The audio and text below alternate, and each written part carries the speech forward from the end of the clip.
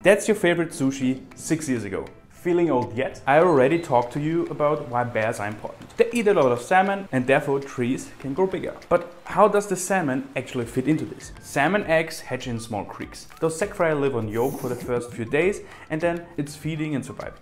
Until they reach the ocean, they have grown quite a bit and are now going through a major change. This smoltification lets them live in the oceans from now on. After 1 to 7 years, they return to the river they were born in to reproduce. They remember the smell of the exact tiny stream they hatched in and follow it upstream. On their way, they change appearance again and have to pass a lot of dangers, from hungry bears to waterfalls. Once they reach their final destination, if they have survived the bears, it's time to f and then die. Not only did they sire a new generation, but also help the animals and the forests surrounding the river with the nitrogen they have accumulated in their years out at sea.